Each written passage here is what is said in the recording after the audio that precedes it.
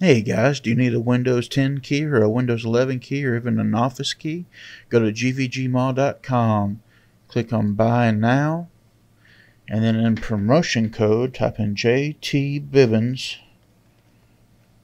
and hit apply, and you'll get 25% off. So it brings it down to $16. I really appreciate it. Links in the description. Thanks a lot. Hey guys, how's everything going? I hope everything's going well for you. Uh, this time around, we've got Super Anti Spyware. Um, I've actually used this program a lot for uh, malware removal on people's systems. So, you know the deal. We have a folder full of 30 infections, 30 items. Open it up here 30 items, 30 infections. We're going to right click and scan. We're going to see how much this little program finds.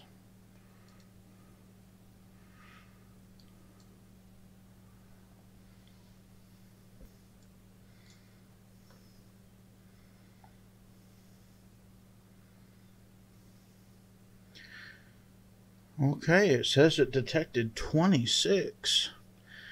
If that's right, then only four should be left in the folder when we get done here. All right.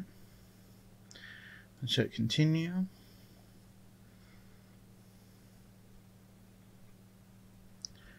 We'll reboot. Eh. Let's go ahead and let it reboot, shall we? Funny enough, out of all of these antivirus programs that we've run, this is the first one has said that it needed to uh, reboot the system. While technically it's not an antivirus, but it does run in the background help uh, protect you from malware. So I'm counting it with the group. we'll be back after our scheduled Windows updates are complete. All right. We're back in Windows. I made sure that Windows Defender was off so that when I open this folder it doesn't go detecting anything. So let's open up and see how many we've got left. Four. It did its job. It said it detected 26. So yeah, only four left in the folder. It it did just as good as AVG and Avast did. That is wild. That's good to know. Much better than I can't remember. Much better than Malwarebytes. Have to look. But anyway, the chart will be here at the end of the video showing you the results from everything.